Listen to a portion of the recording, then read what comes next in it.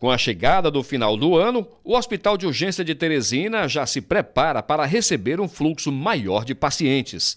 O vai e vem de ambulâncias aqui no HUT não para, principalmente vindo do interior do estado, como esta aqui de Bom Jesus. E o problema só pode aumentar, porque vários hospitais regionais já informaram que vão fechar as portas exatamente durante este período, entre o Natal e o Ano Novo, como é o caso do Hospital de Campo Maior.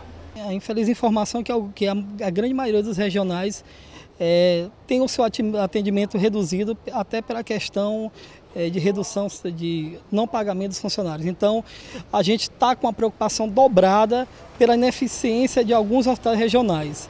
Por isso, a nossa atenção dobrada com relação aos profissionais da HUT.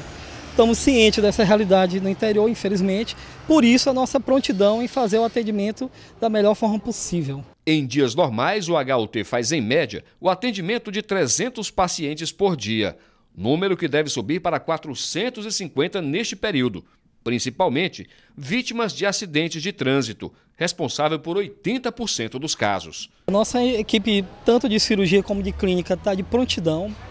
Estamos já adequando nossos setores para o adequado recebimento, aumento do volume de pacientes, particularmente vítimas de acidente de trânsito.